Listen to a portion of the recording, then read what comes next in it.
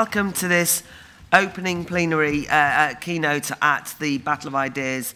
Who are we? Identity Politics Dissected. My name's Claire Fox and I'm the director of the Institute of Ideas. Um, I am really uh, pleased that we're discussing this issue and it's had something of an outing yesterday in some of the debates around cultural appropriation, which obviously and inevitably looked at this issue. But actually, I was uh, struck by how often the issue of identity came up in debates I was in uh, yesterday. People increasingly categorize themselves by race, gender, sexuality, religion, and culture these days. And you'll know that phrase. I've just uh, written a short book called I Find That Offensive. And people will uh, often say, as a black woman, I find that offensive. As a gay man, I find that offensive. As a Muslim, and that I find that offensive. And that gives it extra weight. That kind of description of yourself in that kind of identity category uh, gives it some purchase.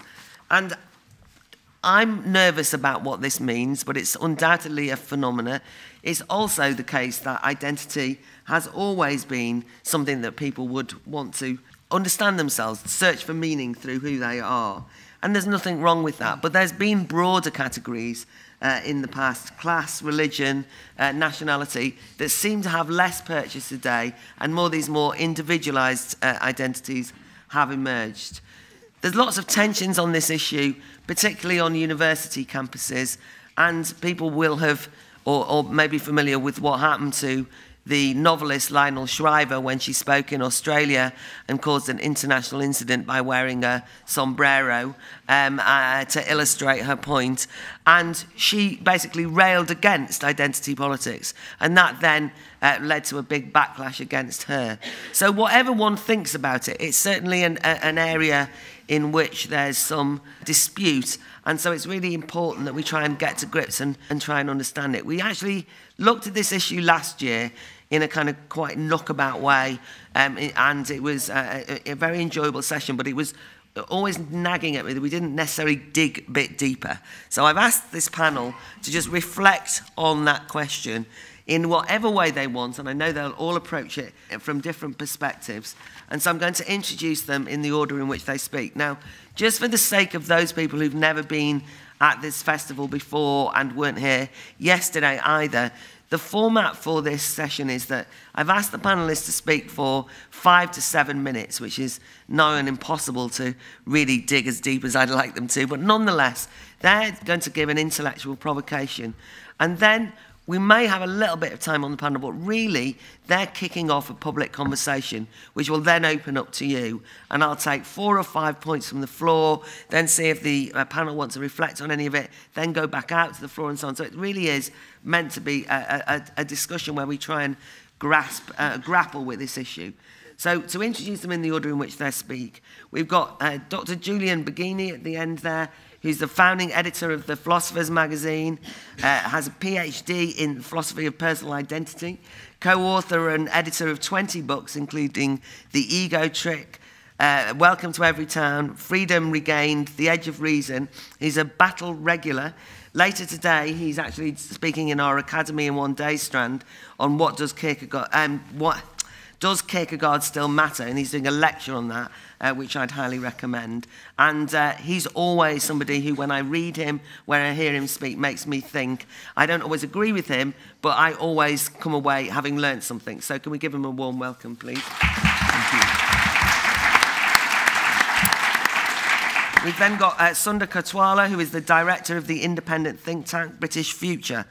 British Future's ambition is to inform and deepen the public conversation on issues around identity, immigration, integration, and opportunity. And I think that when they set the think tank up, I wasn't sure if it would work, but I have to say that it's been very influential on. I read a lot of their stuff. I think they're doing some really useful work, and I, I, I follow uh, Sunder on. Um, uh, on Twitter, and I always find that he's a kind of really useful mediating voice on all of these kind of questions. So I'm delighted he's here. Previous General Secretary of the Fabian Society and was a, a leader writer at The Observer, but generally all round interesting guy. So can we give him a warm welcome, please?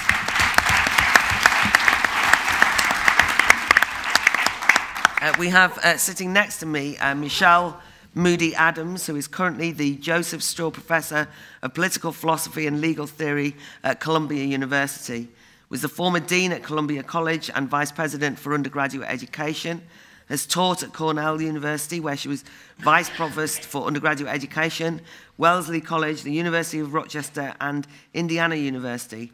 And she's published on topics such as equality and social justice, uh, moral psychology and the virtues of, and philosophical implications of race and gender, and is author of. Um, uh, so, God, I can't read this now, so I'm not going to say it. Right, she's very interesting. No, what I was going to say. No, I'm not finished.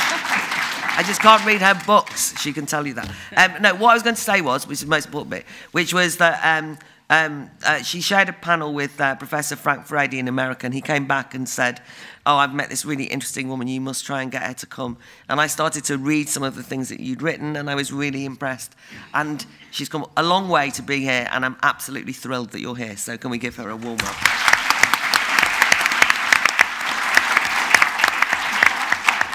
Uh, then joined by Brendan O'Neill, uh, who's editor of Spiked, obviously one of the festival's media partners. Uh, Spike magazine is, uh, says that it wants to make history as well as report it. Uh, Brendan is a columnist for The Big Issue, writes for The Spectator, was last year nominated for Columnist of the Year in the Press Publishing Awards, the Telegraph calls him one of Britain's sharpest social commentators, and The Guardian says that he's a sub Danny Dyer obnoxious intellectual wind up merchant. I'm not entirely sure which one he's come as today. Uh, he's uh, uh, got collections of uh, his essays, A Duty to Offend. Obviously, he's uh, very well known in, in, in Britain and Australia, and more and more internationally, as somebody who tells it as it is. We're delighted to have him here, Brendan O'Neill.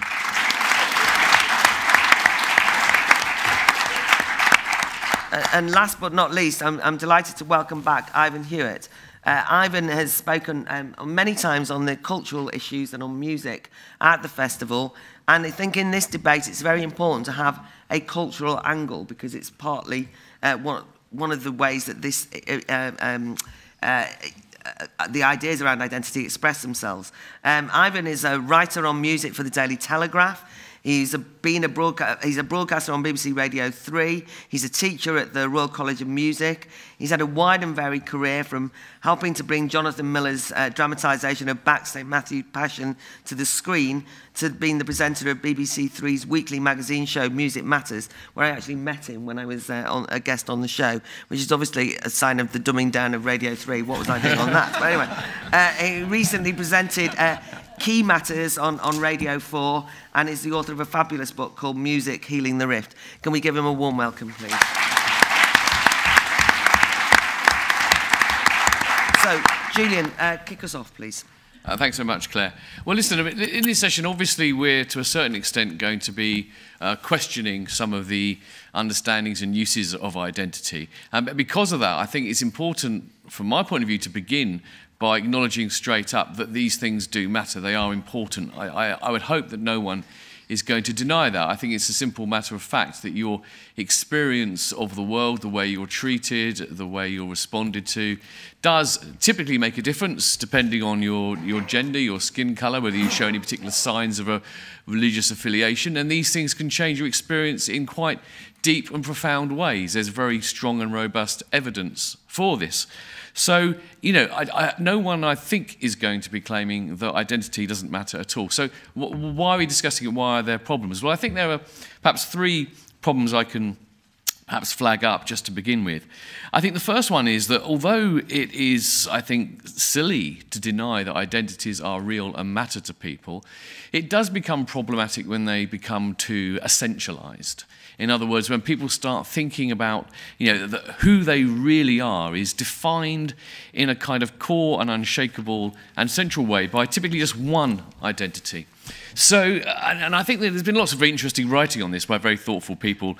I mean, Amartya Sen's book, Identity and Violence, I think was very good on this, or perhaps a little long on it, but the, the key point was, was right. It's that, you know, look, we all have any number of identities, uh, you know, we, we, we, whatever we might be, male, graduate, man of Kent, whatever these things might be. And we have a huge number of these things. And first of all, you know, we're not simply defined by one. uh, it, by itself. Maybe we're not even defined by all of them. Perhaps, you know, we are identities plus other things which don't fit necessarily into any particular identity. And, and, and, and, but when people start to think about these identities in highly essentialized terms, I think that's where things get a little bit problematic. That's where you get divisions opening up. Because if you have an essentialized identity, it makes you essentially different from people whose identity is different on that score. So if, if I say, for example, identify myself as, a, as an atheist and I say that into essentialist terms, then, you know, it's me versus everyone else who believes in, in God and you have those distinct camps. So the essentializing tendency is wrong and it's not at all required. You know, someone can, can insist quite rightly that, for example, being a Muslim in Britain is an important part of their identity and raises political issues that need raising, without going down that route of entirely essentializing it and saying that is what defines them, full stop. Now, a second interesting thing about identity, though, is that although there's this essentializing strand, there's also a kind of a tension between whether or not we think these identities are, as it were, given or, or whether they're chosen. And I think that's quite an interesting one because I think a lot of the time, a lot of these identities people think they're, they're just given. So a national identity, a lot of people, um, it, well, it's, it's, different actually in, in, in other countries like North America and Canada, but in a lot of European countries, people who've grown up in a country believe that their Britishness is kind of built in, it's in their DNA, you know, Tony Hancock and his sort of like this pure Anglo-Saxon blood and everything. On the other hand, though, a lot of these identities are now seeing, being seen very, very strongly as things that can be chosen. So you can even ch choose to be black, for example, even though, you know, in terms of your historical genetic inheritance and family upbringing and so forth, you know, you wouldn't be called black by any impartial judge. Similarly around sexualities as well. Now here I just think there's, a, there's, a, there's just a simple tension. The fact of the matter is that identity has this dual aspect. Um, identity is not something which is, I mean, some identities perhaps are purely given, but on the whole, um, I, we, we neither have the complete freedom to choose any identity we want because we are constrained by things like our biology, our history, our culture, and so forth. At the same time, because the, going back to the essentialist point, it's, it's not the case that we have no room for freedom of choice at all. So the, the, the difficult aspect here is finding that, that middle ground in which we give due regard both to our capacity to alter identities and the extent to which not everything is within our control. So these first two points together, I think, you know, the, the thing, thing that adds up from them is that we, we have to see identities as being plural and to a certain extent fluid and malleable, but not infinitely malleable, not infinitely fluid. We have to negotiate that space between freedom and necessity, if you like, between our, our capacity to make our own choices for ourselves and the fact that we are all thrown into the world, created and brought up in cultures which shape us in ways that we did not choose ourselves. Um, final point I'd just like to bring up is the, one worrying aspect, I think, that is alluded to in Claire's introduction, is that uh, these identities are often used to exclude uh, perspectives from people who don't belong to a particular group. So the idea here is that, you know, that I, I can't speak about any issues which are sort of women's rights issues, for example, because I am a man and I can't understand. Now, again, I think here, rather than sort of getting to a big ding dong about, you know, for or against, it's again a question of an appropriate kind of moderate in between point, which understands the extent to it is true that, you know, unless you are a member of a certain group, unless you've had a certain social experience, you can't perhaps fully understand it in the way that other people do. And I think that's true. And I think we have to try hard to allow for that. And I think this idea, you know, check your privilege, which some people might mock as a slogan, I think there's a lot to that. As a sort of, you know, white man in, in Britain, I think I should be checking my privilege. But um, it, to go from that to the kind of viewpoint where no one is allowed to speak on a, on a, on a subject unless they are within that group, that is, again, it's like the essentials thing. It's a recipe for division. It makes dialogue impossible. It makes mutual understanding impossible. And also, it raises the danger of, well, then who speaks for those people in that group? Inadvertently it ends up giving power to, you know, often self-elected spokespeople who claim to represent all people in this essentializing tradition. So I think, so in all these points, you can see that the, the, the broad approach I have is that, you know, it's not like we need to be for or against the assertion of identity and so forth, but we always have to be quite sensitive to make sure that we acknowledge what is real and, and solid and concrete in identities without making them so solid and concrete that they become rigid, inflexible, etc.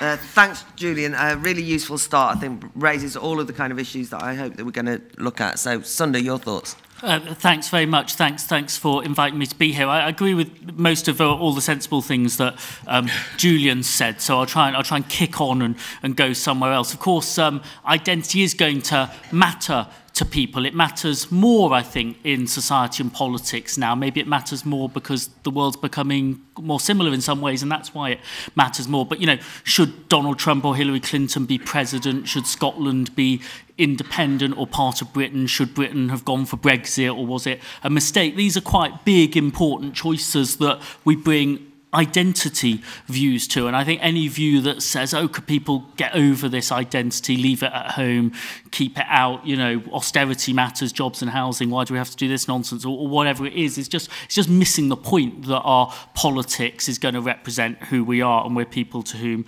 um, identity matters. I just want to think about some of the dilemmas for liberals uh, of, a, of a society when identity is important, high profile, and quite polarizing. What, what, do, what do liberals do with that sense of polarization? I think it, I think it risks making people who are sort of liberal Democrats uh, wanting a sort of rationalist world too allergic to getting stuck in to the debates about identity that liberals themselves need to engage with. I understand why that why that happens. It's there's a feeling that the politics of identity is often represented by a particular type of populist nativist argument about them and us and you know any country you go to any debate you're having um, it boils down i think to some quite similar them and us claims there are too many of them might be immigrants, it might be Muslims, it might be ethnic minorities, but there's too many of uh, somebody different. Um, they're taking our stuff, things that should be ours, might be jobs, might be housing, might be, you know, um, relationships, uh, women, uh, you know, they're taking our stuff. Um, uh, they're not like us and they don't want to be. We are not like them. They've come to where we live and they're still carrying on as if they're not living here. Now. And um, often we're not allowed to talk about any of this, or we get called racist, and that's, uh, that's entirely wrong. And there's another group, not the them in this case, but the liberal elite, that is shutting all of this down and saying it's all fine, go away. No, you're not allowed to talk about this. And I think, um, I think because of that, the power and potency of that sort of them and us polarization. Um, a lot of people who are liberal think, you know, I don't really know, I really could we not talk about this? Isn't there something else to do? And that's a great mistake. Or start making arguments that actually don't work unless you're already strongly on the liberal, don't really feel there's much going on here side, um, such as, um, are there that many of them really coming in? You know, didn't this school go back centuries? Or, um, you know, um, are people taking too much? Look, I've got some graphs and some studies. Maybe it all comes out in the wash. Maybe it's a good thing. Isn't our culture more diverse with difference? You know, the food is better. In Britain because of immigration integration. Everyone will give you the food is better, but is the food is better now? Where would you be without your curry? Is that is that is that a big enough sort of way to respond to what's going on? And uh, you know, a bit of um, not very comfortable with having this conversation. Can, can we move on? The interesting thing about those kinds of points, diversity is good for us. Actually, people pay in, people come for a long time. They are actually in their benign intention to sort of answer these points and not have a them and us uh, approach this. They are, they are all them and us claims. They are actually the claims that they are good for us. And a they are good for us benign version of them and us is still them and us in my view. It isn't doing a more important thing of saying, who are we now? Where's the new us? How do we do that together? And that wouldn't be about, you know, checking the fiscal contribution of, you know, the Asian or black communities because you wouldn't do that anymore because that would be an odd thing to do. So I think I think I think firstly liberals need to get to a sort of argument about us that works. This is difficult for two reasons. For identity I think is doing two things um in a liberal society. It's allowing us to be autonomous and individualistic and sort of articulate the version that really works for us as individuals and as consumers in a marketplace we get to do that we get to be individuals. But politics is about something else. Politics is about the collective choices you make in a liberal, diverse society. So sometimes just saying, well, this is how it feels to me, isn't enough. I think we've got certain types of identity politics that are kind of playing to let's pick a tribe if it's very fragmented. You know, UKIP is a particular tribe for people who don't like things that have happened in the last 30 or 40 years. And then after the referendum, suddenly a sense the boot's on the other foot. If you want to, you can join Cosmopolitan UKIP.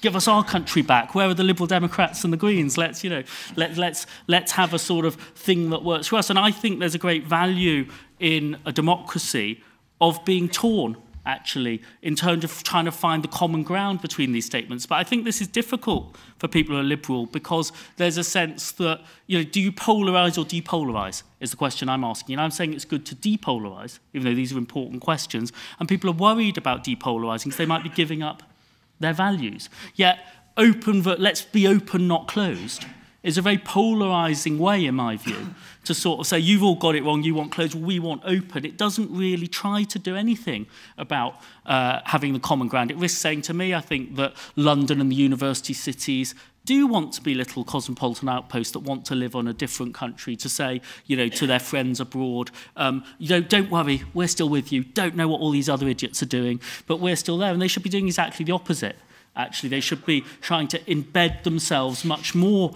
in the society they're part of in order to win the argument for openness with most people, to spread the gains of openness. For me, the British referendum was about the distance, not from London to everywhere else, it was about the distance from Manchester to Wigan and from Newcastle to Hartlepool and from Exeter to the southwest. And I think from those kinds of places, you could do more work actually to connect up, to depolarize these debates. So I think that's what we need to do. And this takes us to the point I think that Julian raised about check your privilege and does that work. That, that sort of thing, I'm very um, not comfortable with that kind of check your privilege um, sort of stuff. But actually, my story of self explains to me why I why I don't really like that. I'm mixed race. My dad was born in India. My mum was born in Ireland.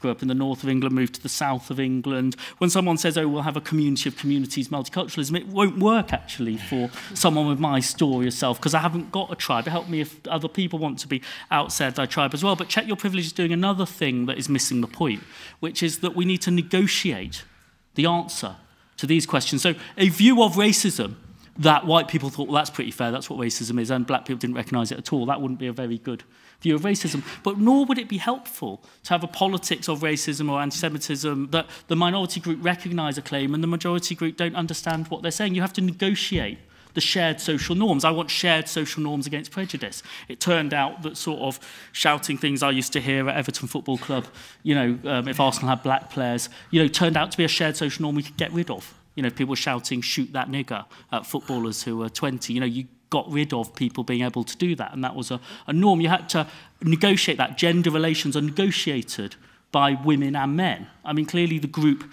involved, you know, that has the ownership of it has a particular authenticity of one kind, but there has to be a negotiation of that. My only experience of um, cultural appropriation, apart from when it's occasionally discussed at debates like this, is being told on Twitter I can't call myself English. And that seems to me, you know, a ridiculous claim, uh, and therefore I'm, you know, I'm against all of the kinds of claims of that kind that are made, and I don't want other people to legitimise them. So I think I think we have to negotiate this on the grounds that people will bring their identity to the table, um, and then we've got to make social choices about what identity we want to share. Thanks. Brilliant.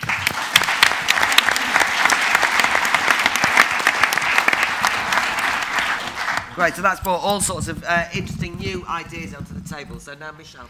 Thanks so much, Claire. I'm delighted to be here also. So my comments are actually, I think, a nice follow-on to the previous two sets of comments, because I want to start with the distinction between a kind of constricting, essentializing identity politics, which I think we're entirely right to reject. I see it go on too often, I, and as an administrator in a, in a university setting, I see students who get wrapped up in thinking that's what real politics is, and it isn't. There is a different kind of identity politics, however, and I call it revitalizing identity politics. Uh, it's probably not so distant um, from what Sunder was, was talking about. And I think that, in fact, democracy is impossible without this kind of revitalizing identity politics. We're obviously in a political setting right to expect people to sometimes want to put the, the things that distinguish them from the whole aside and to establish commonalities with others to think of themselves as citizens. But sometimes democratic majorities get things wrong they get them wrong in all sorts of ways. They get them wrong in the kind of practices they defend, in the referenda they do or don't vote on, in the people they elect to high office in some contexts.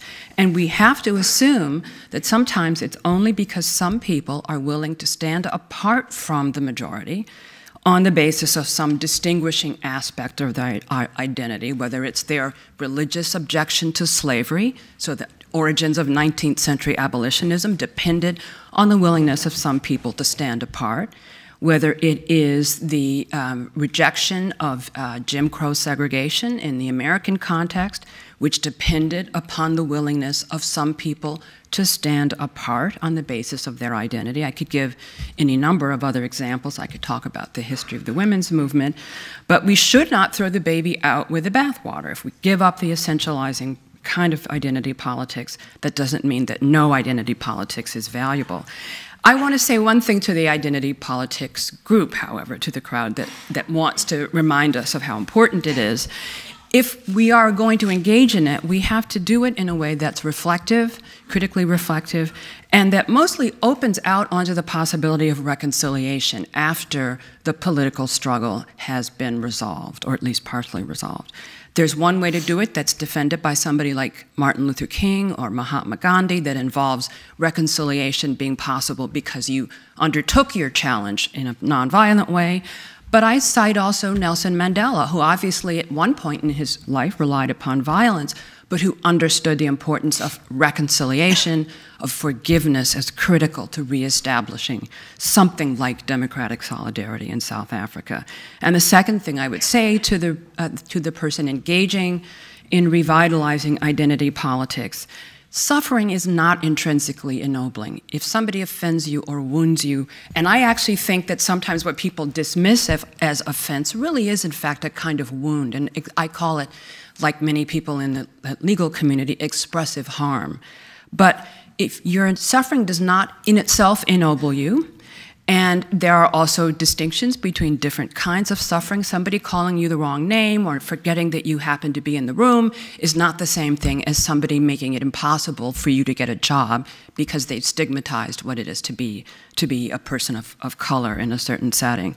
And I would also add that the personal Whatever the slogan said, the personal is not intrinsically political. Something constructive and transformative has to be done to make it political. And I think the danger is some kinds of identity politics, think simply saying I'm black and you didn't listen, that's not enough. That's not politics. But finally, to the person who wants to dismiss identity politics, even the essentializing kind, do not forget that it's all too easy to say that the person on the other side who says you've caused me some kind of harm because you've ignored some important fact about my identity or you've stigmatized me in some way, don't forget that there have been moments in human history where people were told, oh, you just put that construction on what I said. I'm not really stigmatizing you. That was said, believe it or not, in a Supreme Court case in the US in 1896, a case called Plessy versus Ferguson, in which segregation on railway accommodations, amongst other things, was declared not to be a stigma. That's just those black people putting that construction on it. And the danger is we never know which reaction that's coming from the person who says that you have failed to treat their identity seriously. We never know which reaction may be the one that we, in the majority, need to be most attentive to. We are discomfited by it, we're upset by it, but maybe this is the next kind of um, uh, response uh, to, uh, to, expressive harm that actually is a sign that something's wrong in our society. It took 60 years in the US. It took Brown versus Board of Education in 1954, and then another 10 years, the Civil Rights Act of 1964, for the fact of stigma being a genuine harm to be recognized. And so I caution anybody who thinks that you should just dismiss identity politics as, oh, we're tired and they make us feel bad. Sometimes democratic majorities need to feel bad, and I think history offers many important lessons of that sort. Thank you.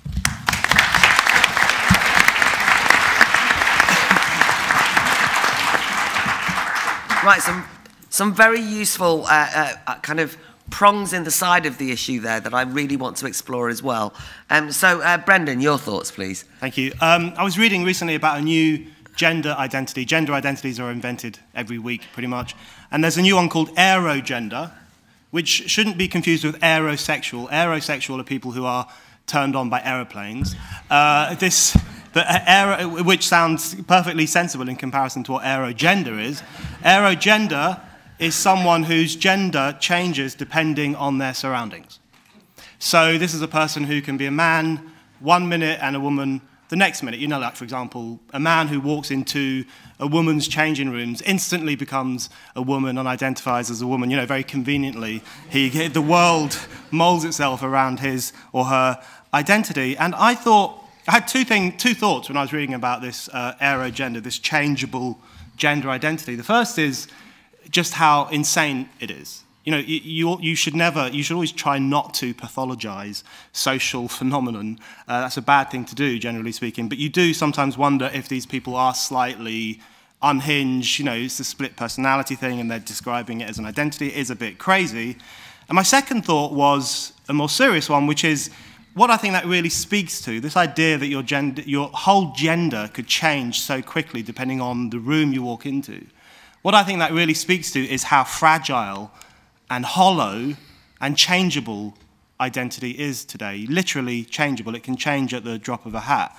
And I think that uh, tells us something very important about the politics of identity now. We have this tendency to think, because the politics of identity is increasingly the only game in town, and everyone has to play it, we have this tendency to think it's very strong. It's on the march. You know, the identitarians are marching through the institutions and forcing everyone to buy into their identity claptrap often. But actually, I think the new politics of identity is built on the collapse of real identity and the weakness of people's sense of themselves. And I think that's the kind of era that we're living in. I just want to touch on two things quickly. Firstly, the question of where this new identity politics comes from, and secondly, the question of what we lose as a result of it. So, on the question of where it comes from, I think it's fundamentally the corrosion of public life, the corrosion of, of national life, which gives rise to this, this new desperate attempt to create new identities, often from nothing, often just utterly invented after reading a blog post and thinking, oh, I feel like that too. Uh, you know, it's the demise of the institutions and the ways of life through which people once derived a sense of themselves. It's that which underpins the new kind of Scrabble for a new identity. You know, the, the fall of churches and their influence, of trade unions, of old politics, even of the idea of the nation, which is a very unfashionable idea these days. And as we know, national identity is also in great crisis. The fall of all those institutions, the crisis of all those institutions, means people find it very difficult to know who they are or what they are or what their sense of self is. And that gives rise to this kind of frenetic search for an identity where you patch all these different feelings together and say, whoa, this is who I am. And so what happens is that identity becomes this very insecure phenomenon, very shaky, very insecure, very fluid, uh, which is why you get terms like gender fluid, which you know you, you might think is a fancy term for incontinence or something, but gender fluid is where your gender changes all the time. Um, and I think that idea of fluidity really speaks to the, the weakness of identity, how unanchored it is in any of the ways of life and, and institutions people might once have defined themselves through. And you can really see that in the rise of the term I identify as, uh, which, I, which I find a very fascinating term. You know, in the past, people said I am. I am a Catholic.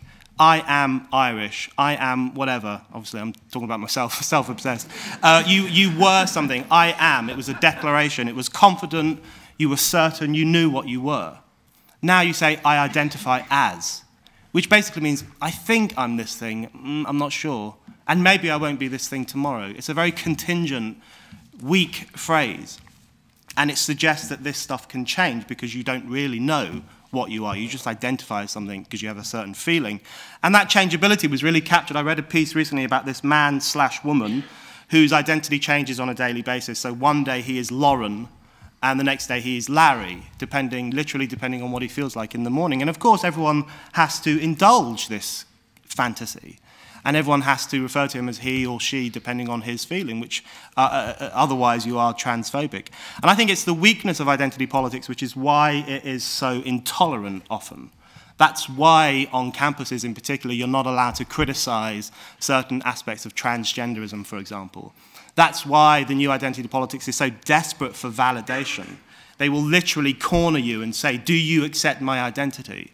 And if you don't, you're a racist or a transphobic or a misogynist or whatever else. They need that validation because the new politics of identity is actually profoundly needy and desperate, is constantly seeking approval precisely because it's so weak. And I think that's a very striking thing. Then finally, uh, the question of what is lost as a consequence of the rise of this politics of identity, I think something incredibly important, which is the possibility of any kind of humanist politics whatsoever that's really what's lost. Because what identity, the new identity politics calls into question is the capacity of humankind to move beyond biological categories, to move beyond race, to move beyond gender and sex and all those other things, uh, e-, e-, except um, where you play with those in, an, in a childish, fluid way. What it also uh, contributes is this a very essentializing process where you are defined by uh, your individual identity, your sexual preferences, your race, and so on. And it really calls into question the whole idea that drove the progressive movement for years and years and years, which was that people should be judged by their character, not their color. In, in essence, that saying that on some American campuses is now considered a racial microaggression. Uh, say, quoting Martin Luther King is now considered a racial microaggression because it denies people's racial experiences. So what we have is this extremely fragmenting process where people constantly distinguish themselves from others. The new identity politics invites you to constantly distinguish yourself from others, and it's a very separatist idea. And I think actually the idea of checking your privilege, checking your white male privilege, is part of this process of self distinction. That's really about largely middle class white men distinguishing themselves from other white men who aren't as switched on and racially aware. So even that has that real uh, process of self-distinction. Um, so my final point would be simply that the problem with this identity politics is that it speaks to the corrosion of all the good things that we might once have defined ourselves through. It makes solidarity and humanist politics utterly impossible. And the way to address this problem of identity politics is not to take the piss out of it, which is really good fun, I know, but is actually to repair public life, because it's the collapse of public life that has nurtured this new politics. Okay, thanks.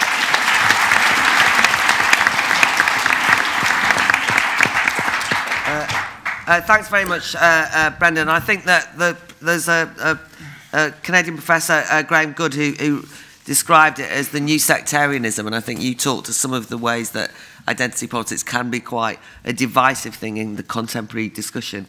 So we'll come back on some of those points. But now, finally, Ivan, your thoughts. Thank you.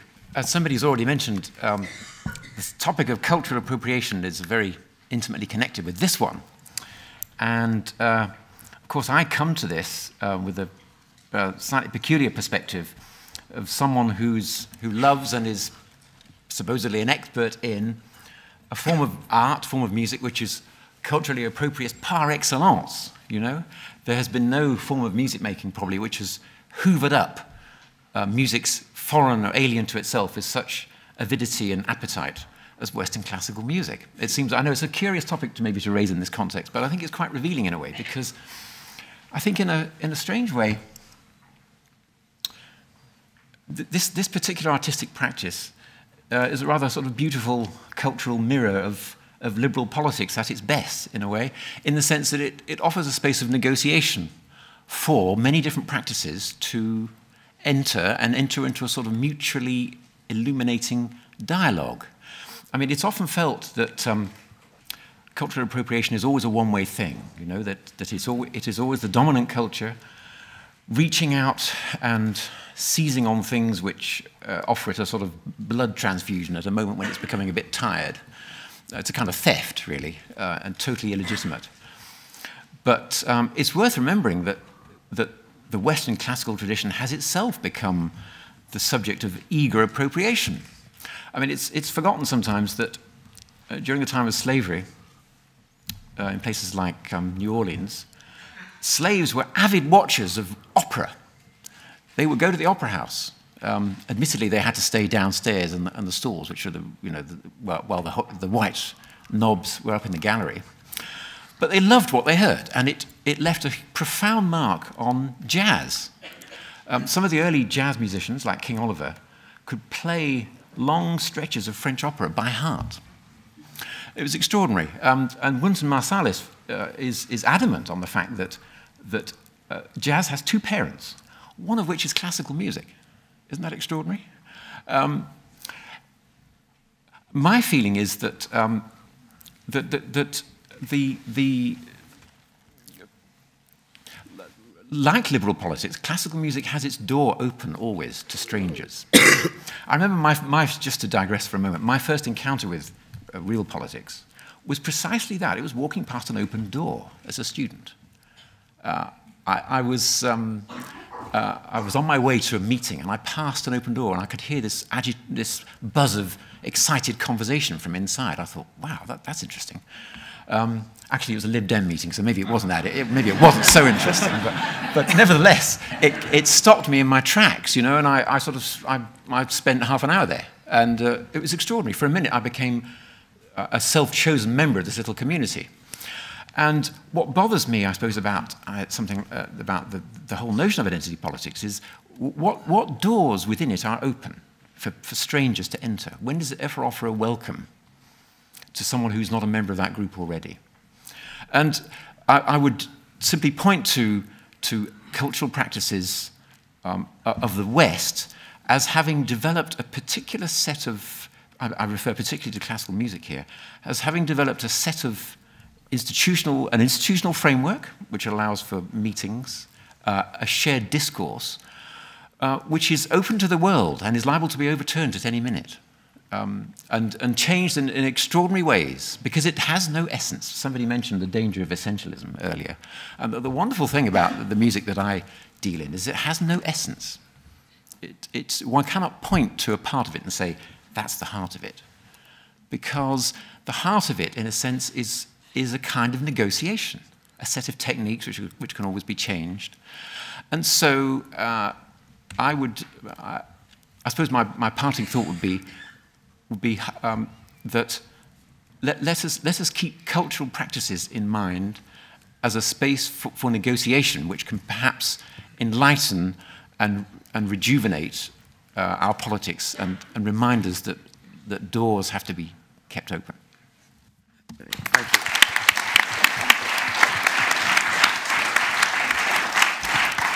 Uh, uh, thanks, Ivan. I, I, love that idea of the, the keeping the door open. Um, Julian, I'm, I'm just, just because it's been a while since we've heard from you, I'm just going to ask a couple of, of, of, you questions before going out to the audience. So be warned, audience, I'm going out to you. Um, but Julian, just in terms of like uh, some of the things that you were saying at the beginning, I, and I know because you, you were interested in this, one of the things that I've noticed is that the previous categories of people of, of, of things like class and so on, they themselves have now started to compete in the identity politics market. I mean, you know what I mean? People will now say, um, um, what about working class boys, for example? And then, and then suddenly they become a category, they become an identity group, and you've got to kind of like deal with them as a group. But have you noticed that, that there's a kind of fracturing into everyone is now competing for a bit of this? Or do you think that's overstating it? Or is there anything you want to reflect on what you've heard? Well, um, actually, I should say something about um, uh, checking privilege because a couple of uh, oh, people right. mentioned it. I'm, I'm not sure. I'm not, I'm, I, I can see I can see there's a certain way of doing it which would be wrong and divisive and everything. But I, I think I mean something quite modest. But I think just having some kind of sense of awareness that you know other people may not be being given the same privilege as you, and just be aware of it. It's not a huge thing. And I, um, I think Brendan's um, comment was was was quite funny, but I think um, just completely unfair because the fact of the matter is there's this sort of idea that people are virtue signaling means that it becomes impossible to do anything in an open way for an ethical reason because then you just get accused of doing it just to signal how ethical you're being. So a vegetarian, you know, oh, it's not because you really care about the welfare of meat, you're just trying to show how superior you are to those people who do eat meat. So yeah, some people I'm sure do do this check their privilege thing as a way of distinguishing themselves, but it's certainly not an essential part of it. But going back to your point, Claire, I mean, I think it's true, but I think, I think this is where it gets tricky, though. I mean, you, you have to, you know, politics, um, when you're looking at how to create a fair and just society, you, you can't go round counting everybody individually. You have to sort of do a certain amount of uh, looking at people in groups in order to see whether uh, um, policies are working fairly. So you, you're kind of forced at times to consider white working class boys, for example, or you know people in former industrial towns and villages and so forth. So I, I think the use of these groupings isn't problematic. It only becomes problematic when, as seems to be too often is the case, it ends up becoming the, the, the, key key definer of it. You know, I, I would have, you know, white working class boy um, should not be defined in that way completely. But at the same time, it's totally appropriate that government needs to recognize that people who share that similarity are also sharing a certain similar set of problems and looking at how policy can address it. So, in other words, it's, it's like these categories have to be used as, you know, heuristics, they're means to an end. It's only when they sort of end up becoming so rigid that they define people in unchangeable ways that it becomes problematic, I think. Uh, yeah, so uh, Brendan and, Mich- and, and Sunder, what about Michele's point? I'm not saying that either of you would disagree with it, but how does that fit in? Which is that, you know, one of the difficulties is that sometimes minorities who represent groups want to say, you know, we're going to fight, both, either of you, both of you, I'm, I'm saying, yeah. want to fight slavery, you know, and, and then, then people say, oh, it's just those black people making a fuss. I mean, we're not discriminating, right? And that's what they said, right? But well, we know, so that's the thing is, we can, we know that that can happen. We know that people can call racism or homophobia at the drop of a hat today. But then what do we do about the fact that sometimes there's racism or homophobia? You know what I mean? How do you yeah, deal with that? A, yeah, it's a, it's, a, it's, a, it's a really it's a good dilemma. It's important to think about it. I mean, if it wants to succeed, of course, and it has different routes, uh, including, you know, accept separation entirely and go and do your own thing, eventually to win, the minority claim has to win majority consent. So it gets to negotiate those boundaries. And I think, I think you get a culture war. I, I don't think we're interested in culture wars in this country and we have polarization. I think America feels more culturally polarized. You get a culture war when people don't think the overarching thing they're doing together is as important as the disagreement. And that could be over something, you know, you know, very symbolic. So if, if take the Confederate flag or something uh, in the American South, if one group just thinks this is our heritage and this is our identity, and another group thinks, well, that is just offensive that you're flying it, and they cannot now have a conversation where they negotiate what happens to that, then they are accepting that that will always be polarized if they find a way through that. And I think we've got shifts in race norms, gender norms by having that negotiation. But so it's uh, and the you know the ways of the ways from the, the minority position not winning the allies it needs and the ways of you know being too thing. If it gets too much into competing grievances, it's bad. But take the white working class boy um, who's got less chance of going to university. I think our government should care about white working class boys having less chance of going to university. You've now got a situation in this country where ethnic minorities are a bit more likely to be university graduates than the rest of the population. And it's probably the first country that's happened. Yet those ethnic minority kids who get to be graduates um, are less likely to get the interview with the law firm when they send the CV. And now we could have a politics of competing grievances. Do you care about the white working class boys who don't get, you know, to get to university or the uh, Asian kid that doesn't get the interview? But they could be the same they could be the same issue. Mm. And if you're entirely allergic to the category, our friends in France will never look at the data because they because it would be unrepublican. They don't have a more equal or more opportunity society because they won't collect the data. Very quickly, one of the things I did try to say is that there is a danger in a certain kind of identity politics, which I want no part of, which seems to believe that the personal, just because it is the personal, and because maybe I'm telling you something about some personal suffering you've caused me by not treating me, you know, with sufficient uh, seriousness, the personal is not intrinsically political. And there are people who think simply by hitting you over the head with the fact that you didn't recognize their special identity, that constitutes a political act. To me, it doesn't. And the lesson, you rightly mentioned people who don't want to hear about the stories of people like Martin Luther King. This was somebody who took care to transform the importance of recognizing this, the distinctiveness of the African American experience of stigma and tried to find a way not just to transform it into the political, but to create commonality with communities that did not include only African Americans. That's the reconciliation part that I mentioned. So I'm not here to celebrate people banging you over the head with their identity. I have no interest in that. I tell students that get over that do the really political thing, the self-absorption of, oh, he didn't get my identity right. That's, you know, it's an interesting fact, but it doesn't create political change. And that maybe that makes me old-fashioned. I'll, I'll confess it, but I'm not interested in the other. Uh, just on the, the class question, class is not an identity. Class is a social condition. It's a social category. And the whole point of class politics, tradition, class politics traditionally is that class could be transcended. You could end the working class. The aim of work, radical working class politics was to get rid of the working class so that that category would no longer exist. Now what you have, as Claire says, is the ossification of class as just another fixed identity.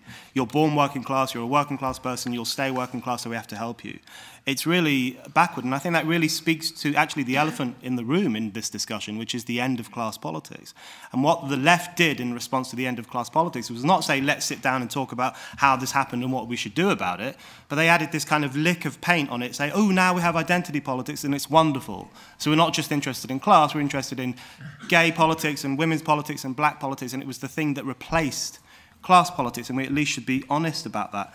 I still think class is an important thing. Politically, it doesn't have much clout, but it's still an important fact that uh, uh, uh is still, I think, the most important experience. So, for example, a black working class person who spends uh, nine hours a day on a building site has far more in common with his white workers on that building site than he does with black academics or black writers or, or, or black lead student leaders who claim to speak on behalf of all black people. There are differences here which uh, which are incredibly important. I think uh, the, the thing that really worries me about the identity thing is just this continual fragmentation. It's fragmenting more and more all the time. So actually, you don't just have something anymore like the gay identity. Even that fragments. So now being a, a white middle class gay man is almost as bad as being a straight man.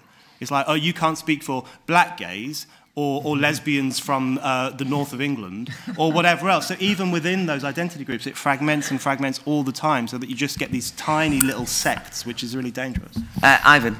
I'm, I'm, I'm struck by the connection between this topic and uh, a, a general uh, uneasiness these days about the reality of human agency.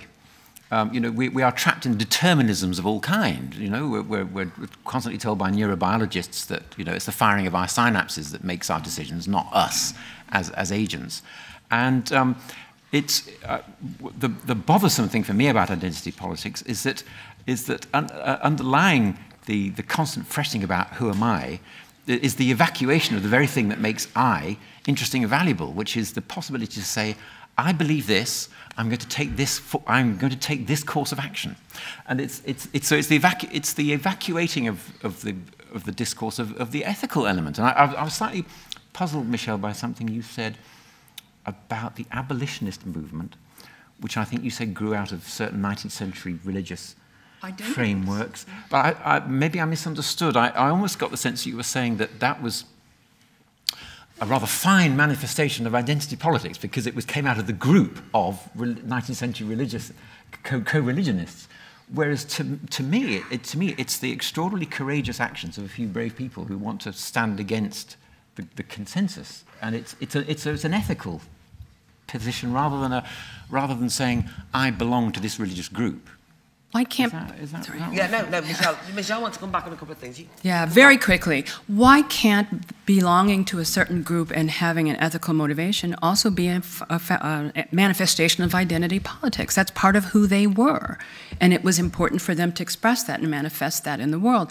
I also want to say, though, very, two things very quickly. One of them, it is clear to me that the difference between the American context and the British context really is relevant here. We've never really had class politics in the US, even though sometimes it, it came in, for instance, in the late in the, in the 1930s with the New Deal and so forth. Um, some ideas were sort of taken up into the mainstream. And racial politics in America sometimes is a sort of stand in for class. Not always.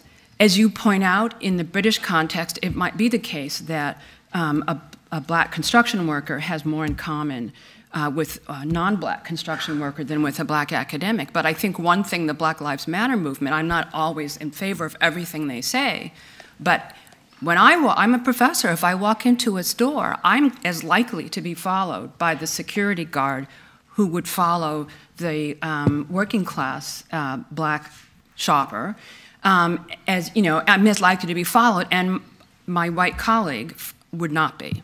So race turns out in the US to be a much greater marker of what your experience will be like than it apparently is here.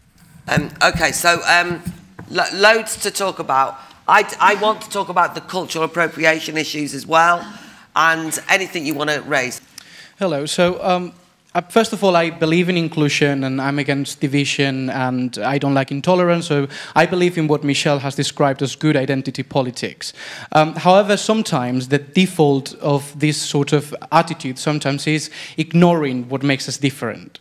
And I mean, I think that was seen in media after the Orlando shootings. You know, Owen Jones was in in the, in the Sky News trying to speak out about how you know this was partly a homophobic attack, and you know, I think. Um, I think what Owen, what Owen, Jones was trying to say was just that you know you have to analyze the problems with with this and what actually caused this attack, you know, and acknowledge that it was partly a, had, it had to do with homophobia. It was it also had to do with jihadism and a lot of other factors. But you know, ignoring what makes us different is not really understanding diversity. I think understanding diversity is about acknowledging what makes us different and being okay with it.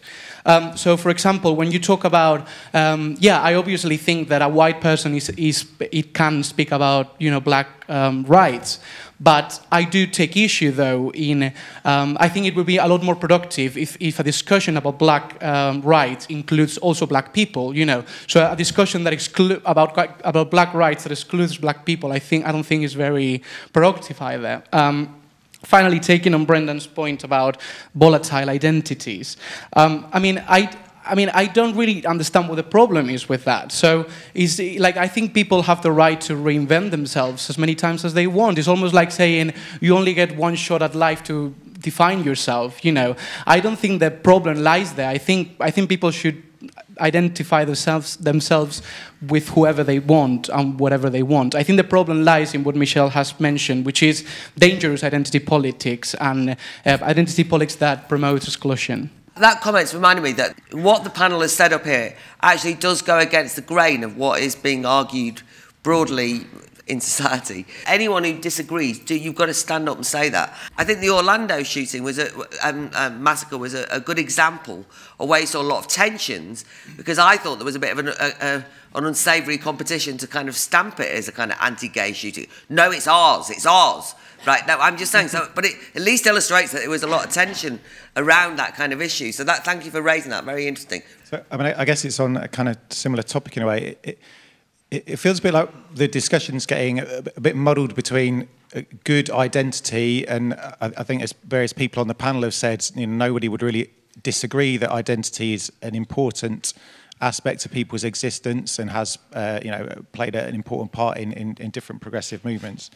But that seems to me different to um, identity politics, and I, and I, wonder whether the kind of key things is uh, about the relationship to authority that um, is encapsulated in identity politics. So um, in the, uh, there was a discussion yesterday about young people and mental health, and a couple of young people got up in the audience um, and were basically demanding that the NHS recognise their identity. Um, and, it, and, it, and, it, kind of, obviously in a public discussion, it's impossible to question that. You know, it's, you know, it, mental health obviously is completely invisible um, in most cases. And it, and it kind of feels that, um, as Brendan said, that one of the key things is uh, it becomes quite corrosive on any kind of potential for solidarity, and it, it does it almost feels like a kind of social acid. You know, it kind of rots potential bonds between people, because rather than um, trying to uh, build links, if you like, identity links with other people or kind of common interests with other people, it becomes a very individuated relationship to authority, whether kind of directly to the state or, or other kinds of um, sort of establishment institutions. Uh, well, fantastic uh, discussion and really provocative. I mean, uh, I suppose I have a question because um, Julian says the question is how to create a fair and just society, and I think that's a really good question and a maxim, but that involves the notion of justice and fairness, which needs rigorous discussion and ideas and some sense of a universal principle. And the problem, I think, with the discussion about identity, which is usually far less sophisticated than it has been here today, is that it, it puts us into echo chambers that reinforce our own notions and positions. It's a bit like trying to learn a concerto without actually learning the form of music and playing the instrument. If you don't have the ability to uh, argue about a principle of justice for all, then and you're caught up with wanting to be recognized for your identity. And that's not to trivialize an identity but it's to recognize politically the role it has. If you constantly want recognition rather than transcendence and transformation that's a problem. As it happens the idea of the universal man or universal person the renaissance idea that you know of the everyman that you could be many different things right it's something i think we can all aspire to to transcend all of these identities. The problem is if we're all competing to be recognized albeit with the idea that we want to challenge oppression or whatever it might be for the just society, then we're not going to actually achieve what we want and we're going backwards, not forwards together. So, on the uh, subject of identity, and particularly national identity, uh, I believe it was Kaiser Wilhelm II who said uh, on the outbreak of World War I to the Reichstag, something along the lines of, um, forgive me, I don't know the exact quote, I see no conservatives and socialists, only Germans. Uh, the First World War being a event that not only in Germany, across the whole of Europe, uh, brought together everyone in the respective societies towards a common goal. So my question to the panel is, do they think that in uh, modern day the uh, UK, given the deep social divisions, uh, there could be a unifying factor or any kind of event that, considering the uh, fragmentation of our society, would be able to bring everyone towards a common goal or is society these days simply too uh, atomized? My first question is to Julian. You said identity is important because it determines your world experience. Yes, this is true, but do you, do you not think to accept this as permanent is to accept discrimination based on identity, which is exactly what we're trying to eliminate from society and promote, as Brendan put it, humanist politics instead? But to Brendan, I agree with your assessment, but not your solution. I don't think the way forward is to repair the old ways of life because they collapsed for a reason. Surely we should put up new institutions instead. Thanks to Claire, finally, for, we, got, we got to a panel discussion about identity politics, which I've been pressing to do for quite a few years now. Uh, I'm the author of an online paper called The Origin of Identity Politics and Political Correctness. And what's never discussed, and it's never admitted, even by Brendan here, who's got quite closest to it, is where the history of this stuff comes from. It's nearly a century ago now when the left intellectuals realised there had to be an explanation why it was in the West. There was no revolution like there was in, in, in Russia and they blamed the workers. They took an idea from Freud about rep repression. The workers were repressed by capitalism. You had to have a replacement for the workers to be the vanguard revolution, became women. That's the beginning of contemporary feminism. And then in the, in the States, with the civil rights movement and Stonewall in 68 and 69, that's when you got the beginnings of what we now call into politics, when you got the triumvirate of victim classes of women, ethnic minorities, and, and LGBT right? That's, it's, it's a complete crock of shite. It's the biggest political fraud in history, and it completely dominates politics. And the left, including, I'm afraid, even Brendan here, are still in complete denial about it. It's the biggest thing in politics. We need to discuss it. We need to kill it.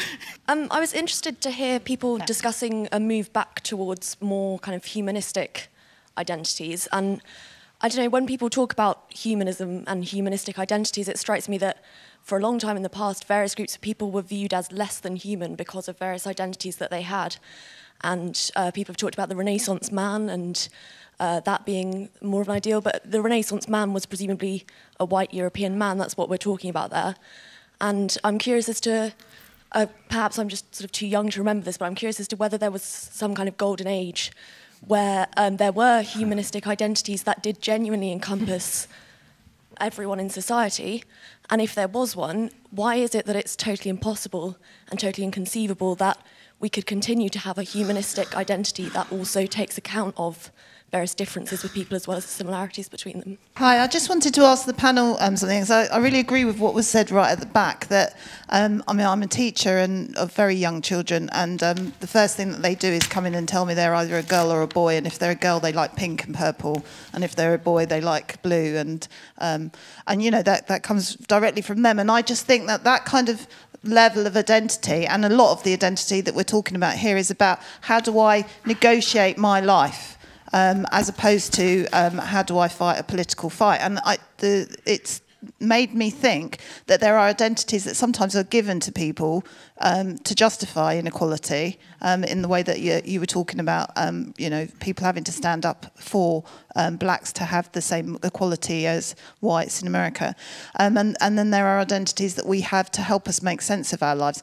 Um, but my question is, is it the case, would you say, as a panel, that actually people are quite scared of political identities nowadays? I mean, one of the things we can't talk about in this country at the moment is national identity um, because of the whole Brexit discussion. You know, it's a bad thing to be pro having our country back, taking control, and all of those sorts of things. So um, I just yeah. wondered what you all thought on that. I also attended a bunch of the discussions yesterday about mental health um, and in young people, and I was wondering, you know, kind of mirroring what um, the girl, two people in front of me was saying.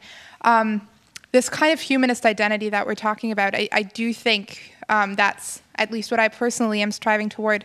Um, but I sometimes feel like the identity politics that we currently discuss is so kind of input focused, or you know, it seems so focused on what other people think about you and what how other people see you and what other people say about you and what other people you know do to you with you you know how they integrate you or not um, instead of being you know a discussion about basically you know almost more and more egocentric. So what am i doing? What am i saying? What am i you know contributing? Where do i see myself in 20 years? Who do i want myself to be right? So i think there seems to be um, a, a, bit of a connection with this maybe authority question that was brought up um, a few minutes ago, and you know how we kind of negotiate our place in the world, and that we've stopped you know taking our own agency as the you know central concept, and instead we've kind of replaced it with you know where other people see us and would put us.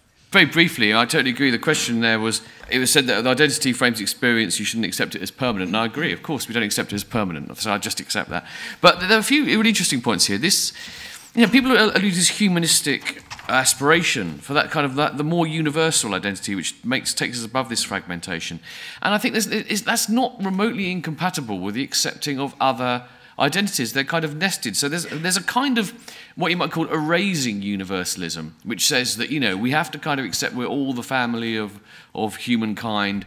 And that means all these other little identities you have, forget about them. They're, they're not real, they exist. But the alternative is to say, no, we have this shared we ought to build on this shared understanding, the shared human endeavour, but that's not to deny those other things. So, British Humanist Association, for example, you know, it has subgroups of people with special interests, of regions. They have a gay and lesbian group, things like that.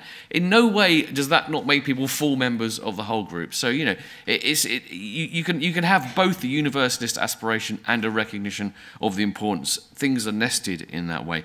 But there's one point that has come up I'm not quite sure where it came from, but a few things made me think about this. I was a bit worried that, you know, we're kind of saying, oh, all this obsession with identity politics and people saying you can't talk this, blah, blah, blah.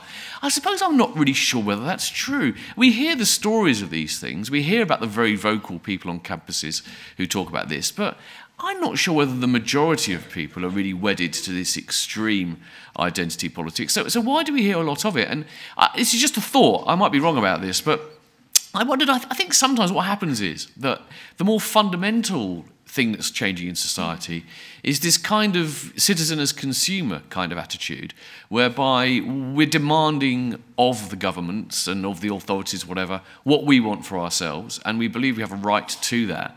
And I actually think a lot of the time, the appeals to identity is just a means to that end, actually. People want something from the state as a consumer, and they, they, they, they latch onto the identity which gives them the legitimization to demand it. So, you know, you must give this to me because I'm a, I am, you know, one of these people. I'm, I am a, whatever it is, I'm, I'm a cancer victim or whatever it might be, and, and we, ha- we have this special interest group, the identity, and you need to recognize our interests, blah, blah, blah.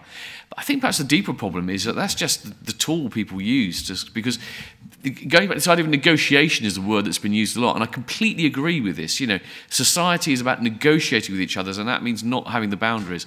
And I think that rather than sort of accept there's lots of messy negotiation and, and compromise, people will sort of like find ways to demand what they want by finding the identity that will give it to them. I suppose there never was a golden age, except maybe in the late 60s. Uh, not, not, not, in terms of, not in terms of achievement, but in terms of hope. I mean, what, what, strikes me now is, is, is, the absence of hope in, in, a, in, a, in a coherent future. That's the, the, distressing thing about the current political scene.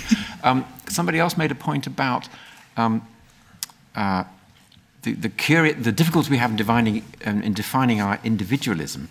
And it's a curious thing. We, uh, you know, it's normally our, our identity, both in ourselves and in our group is, is really constituted by its public recognition.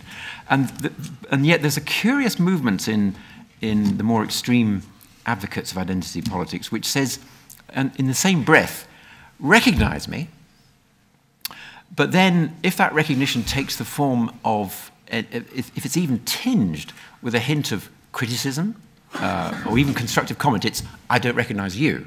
So it's, uh, it's, it's both an invitation of, of that social recognition which would make it real. I mean, that's, a, that's how any of us become real, because the world recognizes us. Um, and then the moment that the, the world accepts that invitation, it's no, because you're, you're, not, you're, you're, not, you're not taking me on the terms that I've already laid down, which is a disaster, because as, so, as many people have said, that it, it cuts, it, it closes down at the outset the possibility of negotiation. The, I mean, the very phrase identity politics, I struggled with it. I thought, what is this? Does, isn't, isn't this phrase a kind of oxymoron?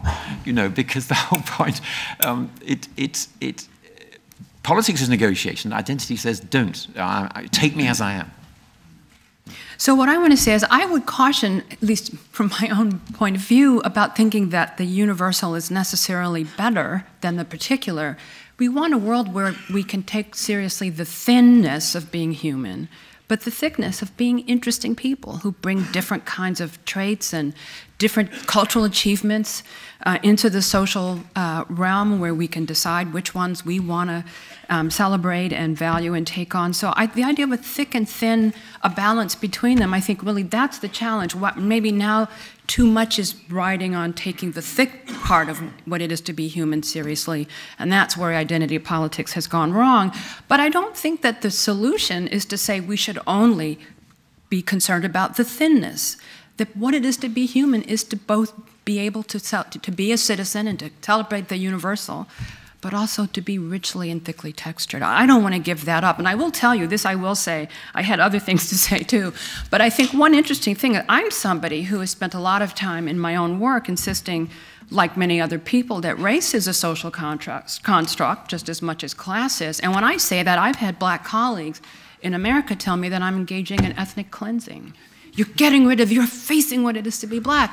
And, you know, I understand that class looks like it's so different from race, but there are many contexts in which they both are social categories. People are in positions where they have to choose. And in the US, the, the, the policy with regard to which you were supposed to choose was so odd initially in the late 19th and early 20th century, the so called one drop rule so it's important to know that Homer Plessy, in that famous Plessy versus Ferguson case in New Orleans, the railway segregation case, Homer Plessy didn't look, Homer Plessy was not in any way a brown skinned person, let's just put it that way. You wouldn't necessarily have even known he was black, but he had one drop.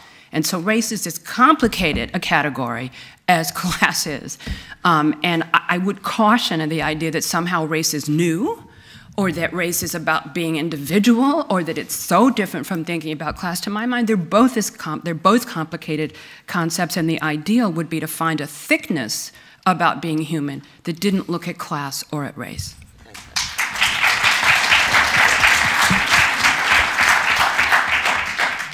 I think, I think a lot of people feel there is a cartoon caricature of identity politics that is um, the, the, you know, just offers people victimhood, competing grievances is not very helpful. I'm not sure if we totally pin down if we think that is silly or if we think it's dangerous, Because to the extent that most people think it's very silly, it's not very dangerous, actually. And the, the reason I wouldn't panic too much about it is to the extent that, you know, one occasionally reads in the newspapers of absolutely daft things happening on campuses. The campus culture wars, if they're happening a lot, and, you know, might be a bit dangerous if they are, um, they're not, that discussion isn't happening off campus. If you go into the town centre and go into a coffee shop and see if people are riven by these debates about, um, you know, identities or no one can say anything, they're, they're not. So we shouldn't get into, Claire, what you'd call a moral panic.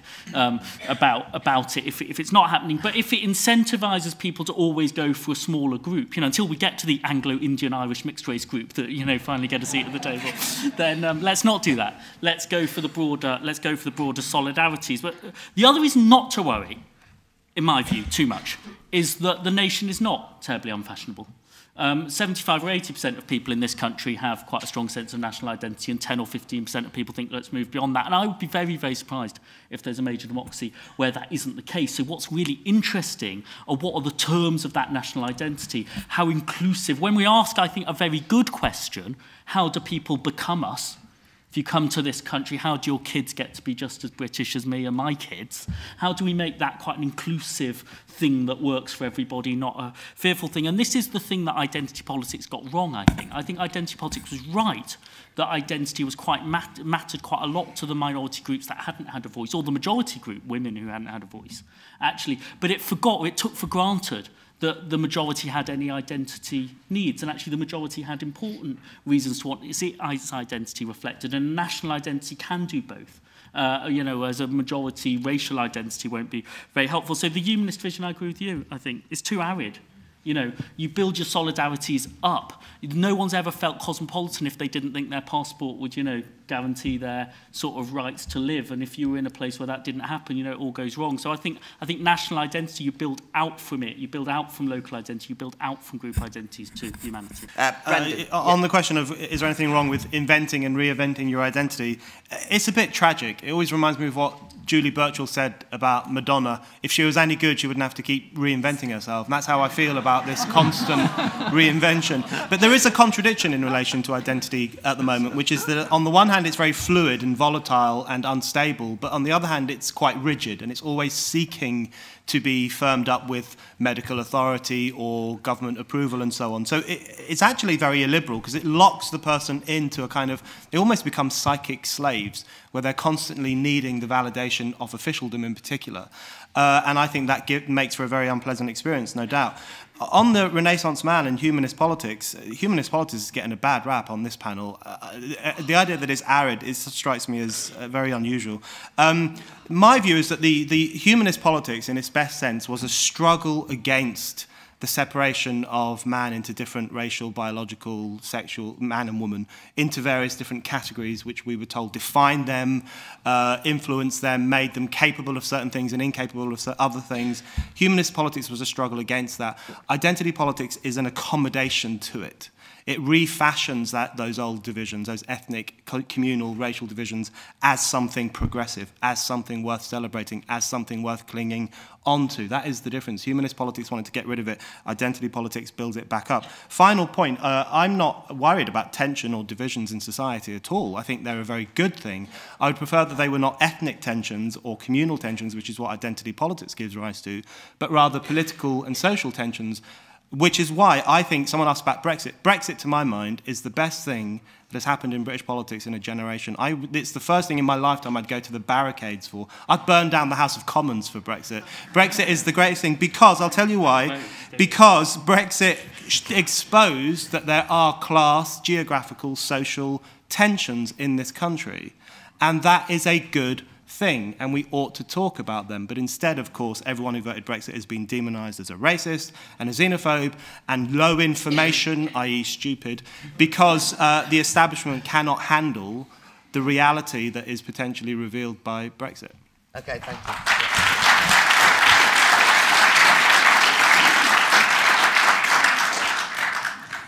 Thanks. Um, I just wondered what the panel thought about the idea that actually, uh, with the rise of identity politics and the problems it's driven, it's is it that it's been the death of political solidarity. So actually, the idea that I don't have to have felt the sting of racial abuse or have had to experience homophobia to stand in solidarity with somebody who's fighting for gay rights or racial equality.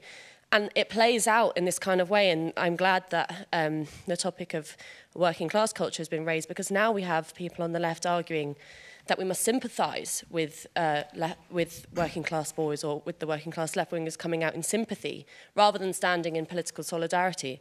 And so this is the kind of rise of identity politics and a validation of you wouldn't understand because you haven't had my lived experience, uh, kind of spoken to the death of the idea that, of a trust in political solidarity and a trust that someone stands for what you want, not for what you are.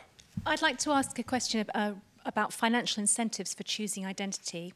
I had an American student staying with me this summer, and she had she had multiple options of race open to her because of her background, and she had chosen the race that gave her financial incentives for college. She was annoyed because the country she came from had been recategorized and it would have given her greater incentives if she'd chosen a different race. so um, her race, racial choice was entirely to do with financial incentives. Um, what do the panel think about that? I think it was Brendan who mentioned the the genders and the shoot like the aero gender and stuff. And obviously that does sound ridiculous when you think about it. But I instead of framing it as just like the collapse of institutions and like the world's gone to shit, it seems to me more like the true like individualization of culture in the good way, in that we can all express who we are, in the sense that because if I look around, I see uh, women in dresses, but I don't see any men in dresses that I can see. Sorry if I'm missing you. But, um, and I think it's really, um, because we seem to desire categories for who we are, we can't just be a man in a dress. Um, and, and, but we have to kind of categorize that as, oh, as therefore I am, I'm a woman today.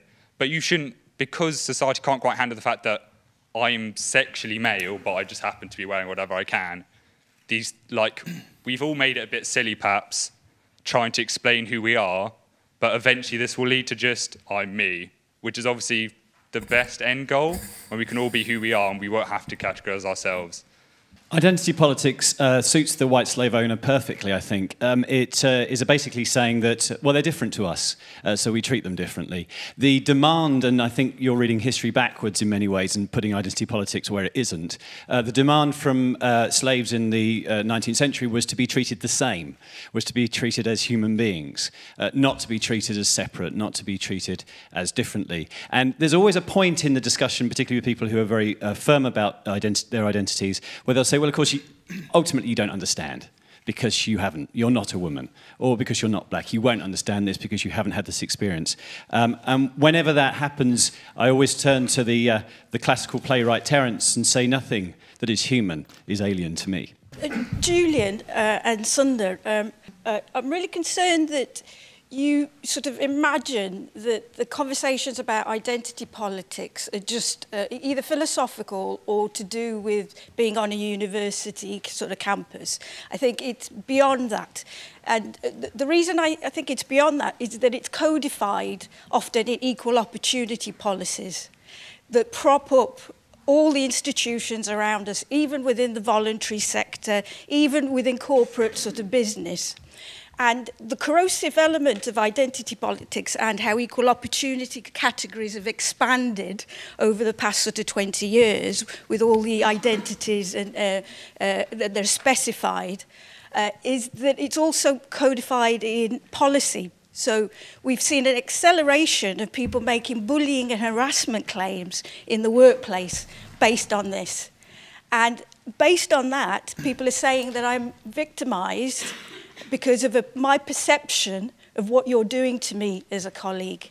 And, and that is beyond the walls of uh, academia. And um, I think it's an important sort of um, and serious sort of issue. Can I just make a defense of universalism? because I think quite few people in the panel have talked about it, Michelle in particular, as if it's just uh, another identity category. Whereas my understanding of universalism was that you assumed that you had politically different individual entities. That's the point about it. If we were all the same, then we wouldn't need politics and we wouldn't need uh, individuals discussing politics in the public realm. So I think it's important that we recognize that universalism does not mean that we're all the same. It means that we're politically different individuals who exist in the public realm and make politics through it. And a very short question for Michele.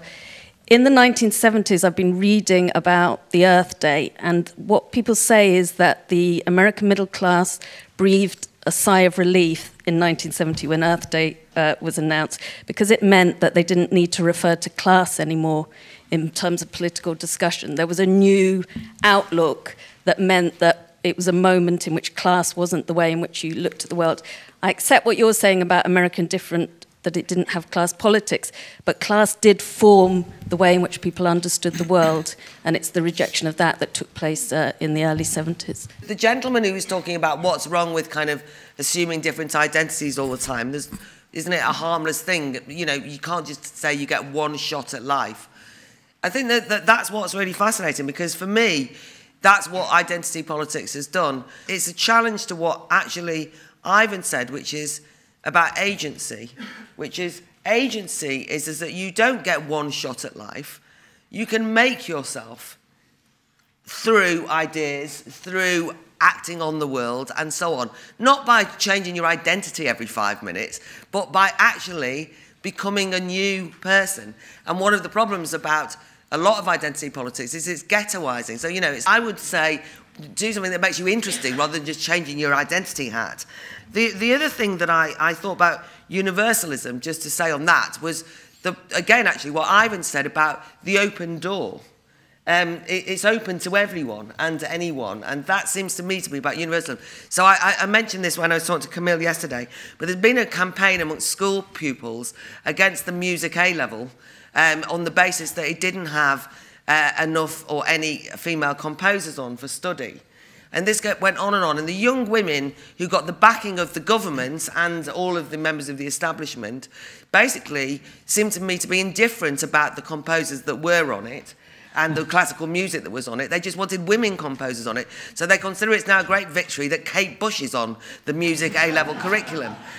I.e., they didn't care what woman they just wanted a woman or women, right? Which seems to me to be insulting as a woman and misses the point about classical music, which is open to everyone and anyone. The fact that in a particular politi political and historic time there weren't very many women composers is not classical music's fault or issue and can't be compensated by by throwing a few women at it who are no good. if you see what I mean. And then, and then my my final point is just, I, I think that to say that this is confined to university campuses does underestimate it. It is a constant feature of this festival itself, never mind anything else. You know, people keep saying to me, why have you not got representatives of this on panels? I mean, this goes on all the bloody time, drives me mad. And, uh, and I'll sort of say, well, we've also got very mixed panel. Uh, you know, you can never say, I mean, you're ticking boxes constantly. young people in particular have now decided that as a young person, this has become a category, right? You're not listening to me and I'm a young person. Well, you're not saying anything interesting. I'm not going to listen to you. what does it mean? It's a mad thing, right? So I, I don't mind you saying something. I don't care who you are if you say it. I want to be indifferent to your age, your gender, your colour. I want to know if you're interesting. That's all that I care about. but that is not what society cares about at all. Not a chance. So I think it's the dominant corrosive influence of our time. Anyway, I had to get that out of my system. now the panel, Now the panel can sum up. Now the panel can sum up in reverse order. Uh, I'm, I'm, it's time to fess up, I suppose, as, as it's the end.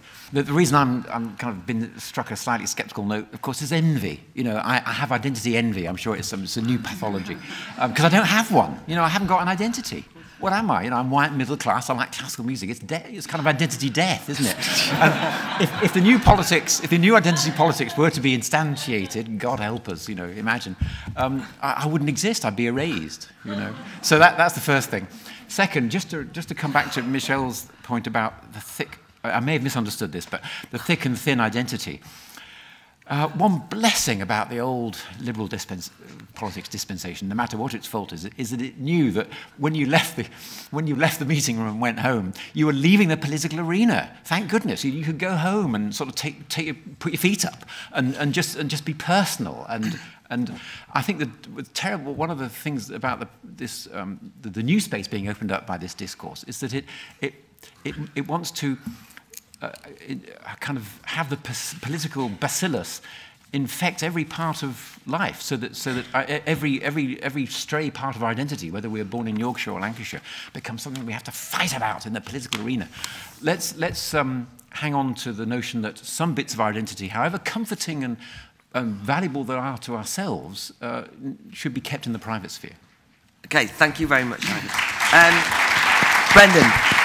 Um, yeah, on the question of, you know, isn't this just kind of individualism taken to its logic conclusion? This is not individualism, what we're talking about now. Individualism, in its traditional sense, if you go back to John Stuart Mill, the idea of individualism was the strong, free willed, capable individual who could, who could understand the world around him, on, him or her and could engage with it as a reasoned creature. That's what individualism was. This is the complete opposite of that. This signals actually the death of individualism because this is about identities that are fragile, where it's assumed you can't hear certain ideas or engage with certain ideas without having a nervous breakdown, where you're constantly seeking the validation of everyone around you because you're so needy. That is not individualism, that is the crisis of individualism personified.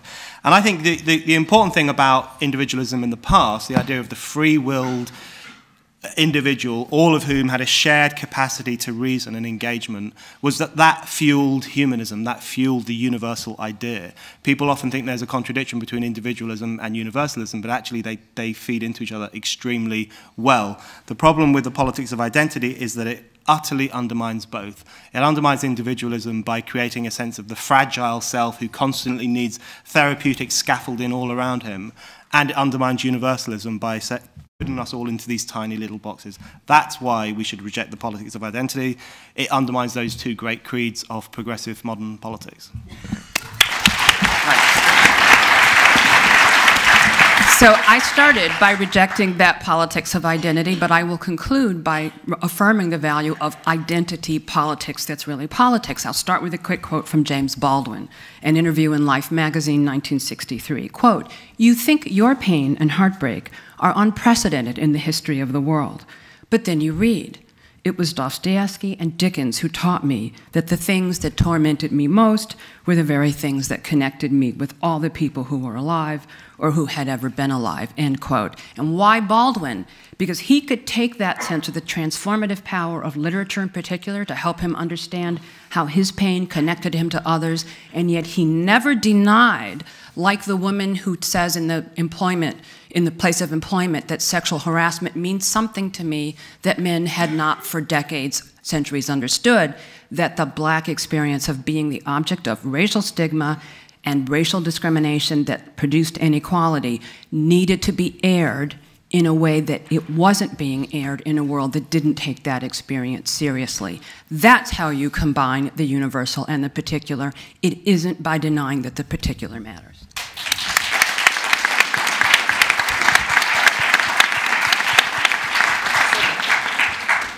I think a lot of good points have been made about solidarity and against ticking boxes, and that's right. But I just want to dig a little bit into that. I think, I think it's good in this country. We actually passed pioneering race relations anti-discrimination legislation in the late 60s, in the, in the early 70s, in parliaments that were all white uh, and had very few women in them. And it's, you know, it shows it's not impossible to do that. But it would be odd having passed that legislation if you kept being colourblind, but your, part, your colourblind parliament was entirely white. Not mm. because you need a microcosm of your society with the exact number of every group and the exact number of women, but if you're right that you're being colourblind and gender blind and that if talent and opportunity ambition happen to be equally distributed then you're actually getting it wrong with your gender blind and colour blind approach if, if, if, if diversity doesn't turn up. And then you can be relaxedly, I think, colour blind and gender blind once the group that's saying that is mixed. and has women in it being gender blind. And it's a, there's a difficulty, I think, with the people who are forced to be the pioneers, get all the burden of representation put on them. And the answer is to, to broaden it out. So this is also, I think, though, a serious issue. It isn't just about seniors and campuses. And, you know, the thing that went wrong uh, very badly, as an example of something that does go wrong, we didn't police sexual abuse in Rotherham properly, partly because girls of a particular class background weren't valued, and partly because the council wasn't really sure what you should do with the law if it happened to be Asian men who were doing it. And that is utterly bonkers and how you get to a position you were doing it. But it's quite interesting, actually. And again, the value of diversity and not being played by stupid claims. An Asian prosecutor got in and actually said, what on earth are we doing? Enforce the law, treat people equally. It is offensive. Not to, not to enforce the law, to somehow have a set of other expectations. So actually, I think one of the values of a more diverse norm is you stop getting played by daft, silly and polarising claims that shouldn't be upheld.